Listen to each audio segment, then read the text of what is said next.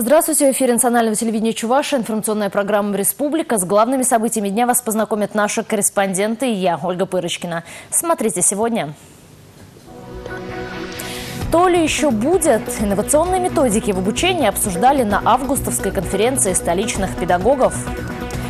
Что растет на наших полях? Специалисты проверили на качество зерновые. Расплата за рухнувшую стену. Виновнику происшествия с домом на Гражданской улице в Чебоксарах вынесли приговор.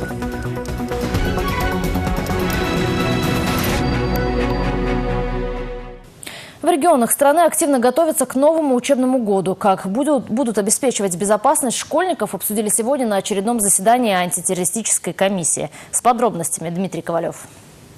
Мы должны и обязаны мобилизовать силы и усилия для того, чтобы обеспечить день 1 сентября, начало нового учебного года, на самом деле, чтобы все прошло красочно, благополучно. Отдельные предпосылки мы в реальности имеем, и поэтому здесь бдительность мы не должны терять. Пожарные датчики, видеокамеры, тревожные кнопки. Это минимальный набор приборов, которыми оснащают все школы республики. Но только на технику полагаться не стоит. Дети должны учиться под постоянным контролем специализированной охраны. Министр образования региона отмечает, что все проблемные вопросы решены. Стены школ неприступны. А приказом Министерства образования Чувашской Республики создана постоянно действующая антитеррористическая рабочая группа. Утвержден ее состав и план работы. Ее составят представители э, МЧС, Министерства внутренних дел, Управления вневедомственной охраны войск Национальной гвардии, Управления Государственного автодорожного надзора, Управления Роспотребнадзора, Инспекции труда. На заседаниях рабочей группы э, обсуждаются нарушения, выявленные в ходе надзорной деятельности. Глава региона отметил, что в чрезвычайных ситуациях школьники и преподаватели должны вести себя умело. И этому тоже надо обучать. В рамках месячника, месячника гражданской защиты в сентябре необходимо провести тренировки по отработке порядка действий персонала и учащихся при возникновении угрозы или совершении террористического акта. И такие тренировки в новом учебном году намерены проводить регулярно. Дмитрий Ковалев и Сергей Адушкин. Республика. 10 ноября прошлого года у одного из зданий по улице Гражданская, в котором находился швейный цех, рухнула стена. Тогда чудом никто не погиб. Виновным в происшествии признан директор подрядной организации, которая возводила пристрой к зданию.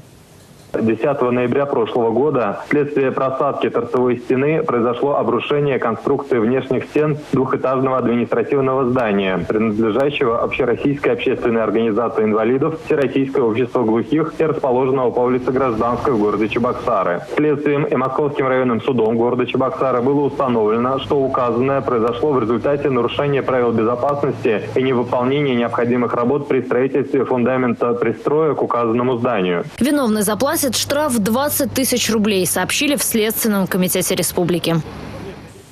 Погода, инфекции и сорняки – все эти факторы нередко становятся причиной гибели посевов сельхозкультур.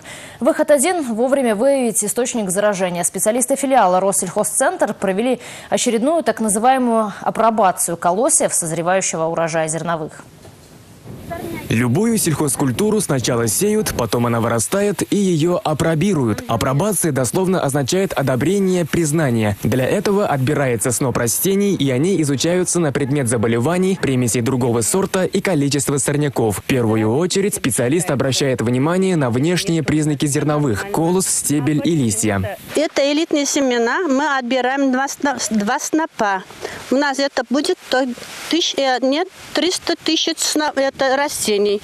И мы отсюда это посмотрим, сколько у нас там нед, это недоразвитые стебли, трудно отделимые культурные растения, сортовые примесь определяем, злостные это сорняки определяем и еще ядовитые сорняки.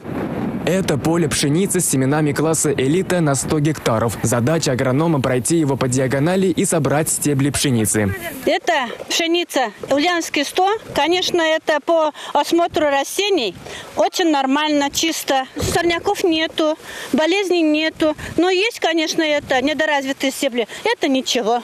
Чтобы собрать большой урожай, нужен качественный сорт с высокой продуктивностью и приспособленный под климатические условия местности, уверен глава фермерского хозяйства Юрий Цветков. У этого сорта клейковина всегда была высокая, она стабильная.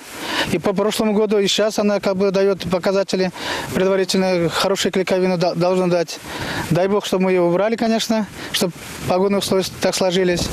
В лаборатории Россельхозцентра проверяют партии семян от каждого хозяйства на сорность, влажность и всхожесть. В данный момент агрономы занимаются определением засоренности зерна, а после очистки будет проведен полный анализ. Только после тщательного исследования аграриям выдают документы, подтверждающие сортовые качества, необходимые для дальнейшего посева и продажи зерна. Ведь именно от его качества и будет в конечном счете зависеть качество хлебной продукции. Рифат Ваткулин, Игорь Зверев, Республика. Вообще, урожай зерна в России в этом году ожидают хороший – 110 миллионов тонн. Это прогноз министра сельского хозяйства страны Александра Ткачева. В Чувашии сейчас, несмотря на отставание по уборке, на три недели урожайность выше, чем в прошлом году на 5 центнеров с гектара. Все это влияет на цены. Продавать зерно производителям на данный момент невыгодно. Ситуацию прокомментировал министр сельского хозяйства Чувашии Сергей Артамонов. В целом я бы порекомендовал здесь, у кого есть возможности хранения, сушки, перер... Э, очистки зерна, э, конечно, не спешите. С продажей мы понимаем здесь сложности, с погашением кредитов, зарплаты и так далее, но все равно нужно как-то ограничивать вывоз и продажу. Тех же производителей, кто рассчитывается с населением за аренду посевных площадей зерном, министр призвал не спекулировать и не компенсировать свои убытки за их счет фуражное зерно сегодня стоит буквально пятого класса 5200 рублей, 5400 рублей. А продовольственное зерно чуть дороже. И ни в коем случае мы фуражное там по цене продовольственного зерна населению продавать не должны. Традиционную августовскую конференцию столичных педагогов традиционной и не назовешь. Образовательный салон, именно так окрестили ее организаторы, собрал под свои гиды лучшие инновационные методики в сфере образования и воспитания.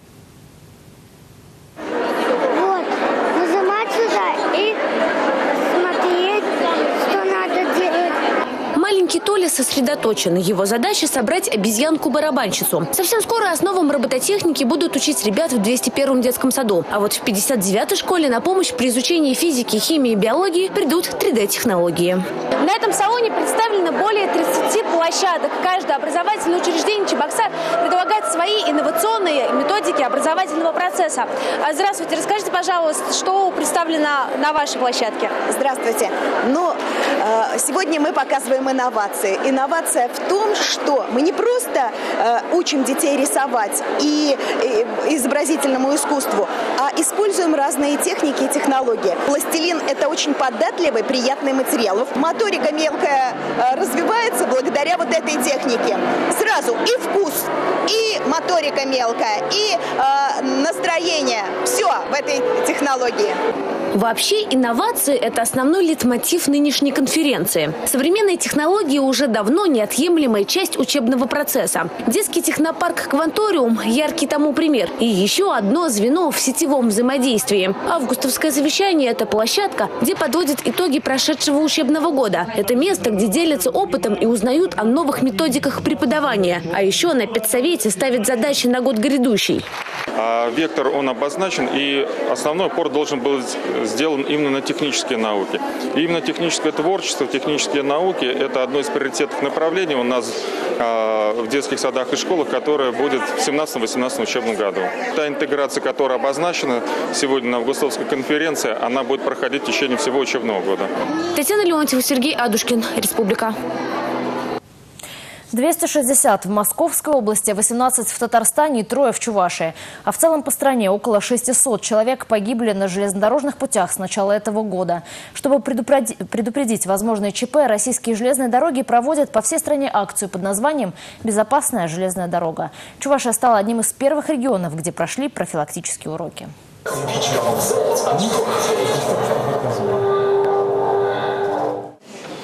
Рейд по несанкционированным переходам, семинары с работниками железной дороги и открытые уроки со школьниками. В рамках акции специалисты проводят сразу несколько мероприятий. Открытый урок с учениками столичных школ – первый в списке. Ведь именно дети часто становятся участниками чрезвычайных происшествий на железнодорожных путях.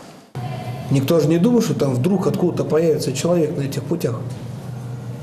И машинист не ожидает, и, возможно, даже и не видит его, потому что железная дорога у нас, она не прямолинейная, как бы нам этого не хотелось. У нас есть повороты, у нас есть там возможные условия затруднения видимости. Ну и вот в таких вот случаях происходят самые, наверное, страшные трагедии. А этот случай в Канашском районе у всех на слуху. Трагедия произошла не по невнимательности, по незнанию. Решив произвести впечатление на девушку, 14-летний подросток поднялся на защитное ограждение пешеходного моста. О том, что оно под током, юноша и не предполагал. Там напряжение присутствует всегда. То есть электричество. Оно нам нужно для того, чтобы железная дорога могла работать. Так вот, вот в этих проводах напряжение очень высокое. 27,5 тысяч вольт. Конечно, это очень опасно. После открытой лекции ребята в сопровождении железнодорожников прогулялись вдоль железнодорожных путей и даже побывали на ЖД-посту. У нас поездная радиосвязь. Заранее, перед тем, как отправить поезд, у нас запрашивают соседние станции. Мы даем согласие. При участке приближения у нас загорается красная лампочка и звенит звонок. Естественно, я вижу, что ко мне приближается поезд, и я вызываю его по радиосвязи. Подобные открытые уроки пройдут и в школах республики. Стартуют они в начале учебного года. Дарина Игнатьева, Андрей Спиридонов, Республика. О безопасности на железных дорогах пойдет речь и в программе «По существу». Она выйдет в эфир сразу после нашего выпуска новостей.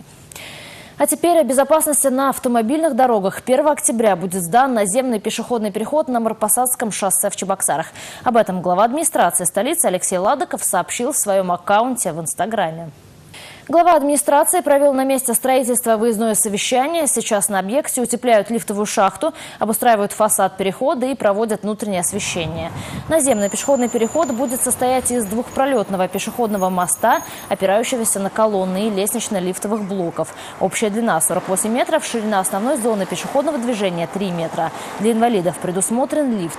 Сроки сдачи объекта в эксплуатацию затянулись, отметил Алексей Ладоков. Скоро завершится строительство наземного пешеходного перехода на Марпасадском шоссе. Подрядчик обещал срок до 1 октября сдать объект, сообщается в Инстаграме. Сразу две круглые даты отмечают в этом году офтальмологи Чувашии. 30 лет назад начала создаваться новая модель НИИ-комплекса, специализирующегося на максимальном приближении высокотехнологичной медицинской помощи к населению. А 90 лет тому назад родился ее основоположник, знаменитый врач-офтальмолог э, Святослав Федоров. Сегодня в Чувашском театре оперы и балета состоялось торжественное собрание.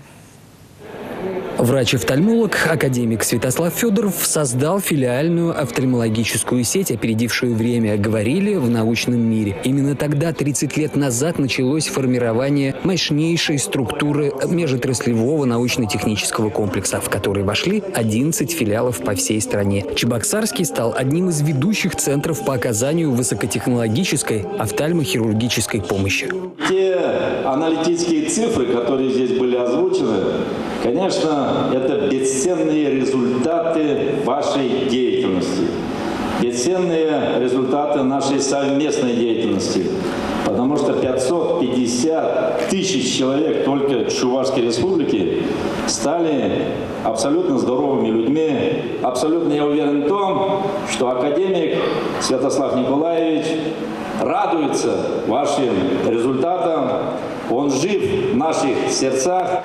Лучшие врачи-офтальмологи получили сегодня заслуженные награды. Родион Архипов, Александр Петров, Республика.